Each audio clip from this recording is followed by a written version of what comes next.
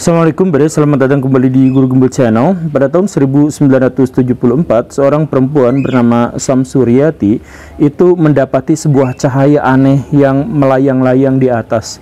Dan tak lama kemudian cahaya yang dimaksud itu menghilang tepat di atas kepalanya. Itu bisa dikatakan sebagai pengalaman spiritual, pengalaman gaib atau hal yang sangat misterius atau yang berhubungan dengan UFO dan sebagainya. Kita bisa berspekulasi tentang apa pun karena pihak yang dimaksud juga Ibu Samsuryati itu sama sekali tidak mengetahui apa yang terjadi dan tidak ada kejadian setelahnya sesuatu yang janggal biasa-biasa aja.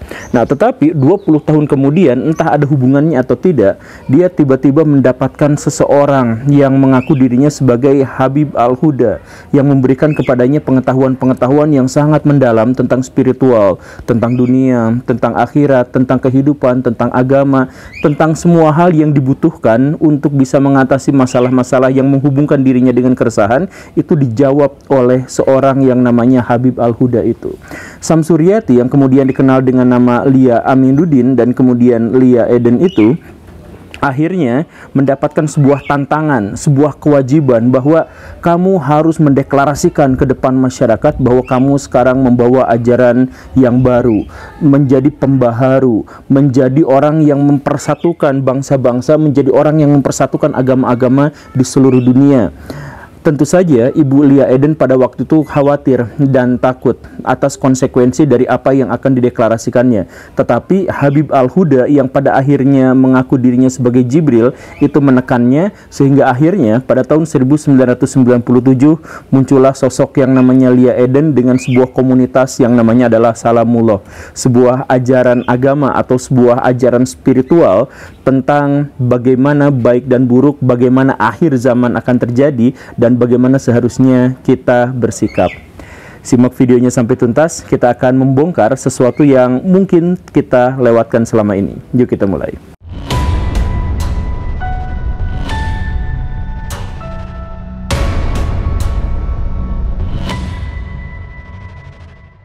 Ketika kita berbicara tentang Ibu Lia Eden, kita akan menemukan banyak sekali ejekan, umpatan, hujatan, makian, dan banyak hal-hal yang absurd. Dan kita bisa saja membuat list atau daftar tentang betapa absurdnya ajaran itu. Terkait dengan misalkan Tuhan, terkait dengan UFO, crop circle, eh, dan lain sebagainya. Misalkan, ya, ketika Ibu Lia Eden suatu kali diajukan ke pengadilan, gara-gara dianggap mengajukan aliran sesat, kemudian ada juga sebuah pernyataan bahwa ritual-ritual dalam ajaran agama Salamullah itu itu adalah ritual menyiksa diri. Kan Lia Eden mengatakan bahwa semua lubang yang ada dalam tubuh manusia itu sebenarnya uh, kunci dari sebuah kejahatan, kunci dari ya itu mulai dari keburukan itu muncul di situ. Dan karena itu salah satu ritual yang mereka biasanya lakukan itu adalah membakar lubang-lubang dalam tubuh manusia termasuk bibir, mulut, ya dan lubang-lubang yang lainnya itu. Nah, itu kemudian ada sebuah laporan dari seorang ayah yang menyebut bahwa anaknya yang umurnya masih 8 tahun itu juga dibakar bibirnya Ya karena alasan ritual yang begini dan begitu. Lia Eden menolak itu dan mengatakan bahwa dia tidak membakar eh, anak-anak uh, tentu saja. Tetapi di situ yang uniknya itu di sebuah pengadilan itu ada yang membela Lia Aminuddin atau Lia Eden, yaitu seorang yang namanya adalah Abdurrahman yang mengatakan bahwa dirinya itu adalah reinkarnasi dari Nabi Muhammad. Waduh, ini reinkarnasi dari Nabi Muhammad ternyata membela Lia Eden di pengadilan. Eh, hakim tentu saja bertanya, tahu dari mana Anda adalah bahwa reinkarnasi dari Nabi Muhammad? Ya wahyu ilahi dari Jibril yang disampaikan kepada Lia Eden yang mengatakan bahwa saya itu adalah uh, reinkarnasi dari Nabi Muhammad. Eh, jadi apakah kita semangat nasionalismenya akan semakin berkembang tatkala mengetahui bahwa Nabi Muhammad berinkarnasi sebagai wujud orang Indonesia gitu. Dan bukan hanya itu saja. Ternyata ada pengikut Lia Eden juga yang itu termasuk juga adalah anaknya sendiri yang dia sebenarnya adalah reinkarnasi dari Nabi Isa. Oh, luar biasa ya. Jadi nabi-nabi berkumpul bukan di Israel, bukan di Arab, bukan di Timur Tengah, tapi di Indonesia. Anaknya yang namanya adalah Ahmad Mukti itu adalah reinkarnasi dari Nabi Isa. Kenapa seperti itu? Karena Lia Eden sendiri adalah reinkarnasi dari uh, Bunda Maria dan dia adalah istri dari Jibril. Jadi Habib Al-Huda yang tadi Jibril itu ternyata adalah suaminya sendiri yang bereinkarnasi entah bagaimana ceritanya gitu. Dan jangan khawatir karena uh, dalam pikiran Lia Eden yang bereinkarnasi menjadi orang Indonesia itu bukan hanya tokoh-tokoh suci atau tokoh-tokoh penting dari ajaran Abrahamik. Kita misalkan mengetahui bahwa ada pengikutnya yang dia adalah reinkarnasi dari Dewi Kwan Im ada yang merupakan reinkarnasi dari Hanuman.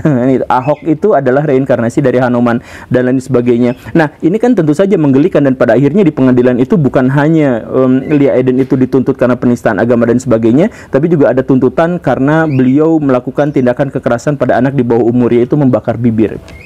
Dan dengan berbagai klaim yang sangat luar biasa bombastis itu, ternyata Ibu Lia Eden bagaimanapun mendapatkan banyak pengikut puluhan sampai ratusan orang. Banyak di antara mereka yang percaya bahwa apa yang disampaikan oleh Lia Eden itu adalah benar. Walaupun pada akhirnya banyak juga pernyataan-pernyataan Lia Eden itu yang direvisi sendiri karena ternyata terbukti salah. Misalkan para pengikutnya pernah dibilangin bahwa nanti malaikat Jibril akan menampakkan wajahnya, akan turun dari sebuah pesawat. Pengikut-pengikutnya datang ke situ tur melihat pesawat itu orang-orang yang keluar dari pesawat satu demi satu diliatin gitu ternyata semuanya manusia ternyata tidak ada yang Jibril kemudian ketika ditanya kepada Li kenapa kok nggak ada Jibril oh Jibrilnya itu gagal datang ke sana mungkin karena ada kepentingan yang lain, ada keperluan yang lain. Jadi direvisi, oh begitu. Tapi ya sudahlah mengikuti saja seperti itu gitu. Kemudian ada juga cerita bahwa Ibu Lia Eden itu uh, datang ke pantai selatan untuk adu kesaktian dengan Kanjeng Nyiroro Kidul. Ini sebenarnya menjadi sebuah masalah karena banyak orang-orang kejawen yang marah dengan kondisi seperti ini. Gimana ceritanya ada Kanjeng Ratu Pantai Selatan yang kami hormati yang setiap tahun kami larung kepala kerbau ke laut dan lain sebagainya malah diajak berkelahi oleh Lia Eden. Ya di situ ada ritual sholatnya, ada takbirnya, ada segala rupa segala rupa pokoknya berantemlah ceritanya dengan Ratu Pantai Selatan dan katanya Ratu Pantai Selatannya kalah dan terusir. Tetapi sampai sekarang menurut orang orang-orang kejawen Ratu Pantai Selatannya baik-baik saja dan di situ masih ada dan masih ada upacara-upacara untuk menghormatinya dan sebagainya. Nah ini kan ya pada akhirnya juga menghasilkan kontroversi yang lebih besar dan inilah yang kemudian mungkin dikatakan oleh tretan Muslim sebagai sesat hybrid gitu. Sesat hybrid maksudnya bukan hanya dianggap sesat oleh satu kalangan agama tertentu misalkan Islam tetapi oleh orang-orang kejawen, oleh orang-orang e, dari berbagai agama lain juga merasa bahwa ini adalah sesuatu yang aneh dan menyesatkan begitulah kurang lebihnya. Nah, ya termasuk juga secara logis ini juga menjadi agak menyakitkan, men menjadi agak aneh gitu, absurd gitu. Maksudnya gini, um, misalkan ya, kalau misalkan Baraya nonton channelnya Lia Eden di video-video pertama Lia Eden itu ngebahas tentang crop circle. Gitu. Crop circle itu misterinya sudah selesai, sudah kita ketahui bersama apa yang sebenarnya terjadi di situ. Tetapi menurut Lia Eden bahwa yang dimaksud dengan crop circle itu adalah adanya pesan-pesan ilahi. Jadi itu yang membuatnya itu adalah malaikat. Misalkan dia bikin seperti itu. Itu bukan hanya video pertama di channelnya, tapi itu ada beberapa jilid itu, satu episode, dua episode dan sebagainya gitu. Kemudian beliau berbicara tentang sinkhole, beliau berbicara tentang hujan darah, beliau berbicara tentang apa yang sebenarnya secara sains sudah terbukti begini dan begitunya, sudah diketahui jawabannya, tetapi beliau menjelaskan menurut versinya sendiri gitu. Makanya menurut agama ini dianggap aneh, menurut agama yang itu dianggap aneh, menurut uh, ajaran spiritual spiritual yang ini juga ini ditolak. Terus untuk orang-orang yang rasional ini juga ditertawakan dan sebagainya. Makanya Ibu Liaden itu tidak punya pendukung. Makanya Iya, komunitasnya tidak pernah lebih dari 100 orang. Dan luar biasanya mereka tetap bernyanyi, bersenandung. Jadi DNA dari agama kalau misalkan disebut agama ya, agama Salamullah yang buatan Lia Eden itu DNA-nya tentu saja adalah Islam, tetapi dicampur dengan ajaran Kristen, ajaran Hindu, Buddha dan dan lain sebagainya termasuk juga cerita-cerita tentang reinkarnasi itu gitu. Dan kalau misalkan Baraya mau lihat itu ibadahnya itu lagunya itu mirip liturgi Kristen gitu. Kayak Katolik khususnya gitu ya. Kok mirip gitu. Jadi apakah ini adalah benar-benar sesat hybrid?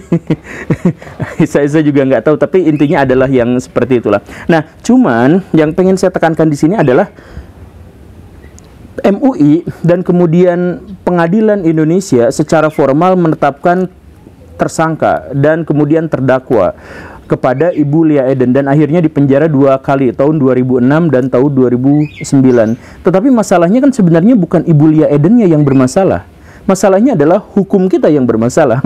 Maksudnya gini, kan Ibu Lia Eden itu dari awal sampai akhir dia mengatakan bahwa apa yang dia sampaikan, apa yang menjadi latar belakang dari tindakannya dan sebagainya itu bukan dirinya sendiri, tapi Habib Al-Huda itu. Jadi Ibu Lia Eden mau berantem sama Nyi Roro Kidul, mau mengatakan bahwa semua ajaran agama itu salah, yang benar itu adalah yang disatukan dalam dirinya, yang bla bla bla bla bla bla. Itu adalah bukan pernyataan dari Ibu Lia Eden sendiri, tetapi dia mendapatkan wangsit atau firman dari seorang yang namanya Habib Al-Huda itu, yang kemudian diidentifikasi sebagai Jibril itu. Jadi kenapa gak dicari itu Habib Al-Hudanya? Kenapa yang disalahin terus-terusan Ibu Lia Edennya gitu? Apakah Habib Al-Huda itu terdaftar dalam Robitoh Alawiyah? Apakah dia adalah saudaranya Habib Umar atau dia adalah pelatihnya Habib Nurmagomedov? Kan kita juga gak tahu. Nah Habib Habib Al Huda ini ini nggak pernah dicari sama orang gitu Padahal kan dia sumber masalahnya itu, Ibu Lia Eden itu sebelumnya adalah aktivis Muhammadiyah. Saya, saya mohon maaf sebutkan ya. Dia berjilbab, aktivis Muhammadiyah, dia suka merangkai bunga dengan kondisi yang seperti itu. Kemudian dia berubah menjadi seorang perempuan yang pelontos pakai baju putih yang tidak dijahit dan sebagainya. Itu gara-gara Habib Al-Huda. Kenapa nggak dicari Habib Al-Hudanya? Tapi kan masalahnya Habib Al-Huda itu nggak ada. Menurut Lia Eden dan pengikutnya, Habib Al-Huda itu adalah Jibril. Sehingga tidak mungkin bisa diketahui oleh orang yang tidak beriman. Dan bahkan hanya diketahui secara eksklusif dan berinteraksi secara eksklusif dengan Ibu Lia Eden. Kan begitu ya? Ya, tapi itu menurutnya. Kalau menurut MUI dan sebagainya, itu adalah jin yang datang untuk menyesatkan manusia dan sebagainya. Tapi secara saintis, kita juga bisa mengetahui bahwa uh, Habib Al-Huda itu adalah wujud dari delusinya Ibu Lia Eden. Iya nggak sih? Kalau misalkan kita melihat kronologi atau susunan bagaimana cerita Ibu Lia Eden begitu, baca bukunya yang katanya ditulis hanya dalam 29 hari itu, menghasilkan 230-an halaman dan sebagainya. Kalau misalkan kita melihat itu semua, kita yakin bahwa ibu ini punya gejala mental tertentu yaitu dalam hal ini adalah delusi. Beliau tidak bisa membedakan mana kenyataan dan mana tidak kenyataan gitu. Ini seperti endingnya film Joker gitu, yang Joaquin Phoenix itu gitu. Jadi beliau itu bukan salah, beliau itu bukan berbohong, tetapi beliau itu delusi gitu.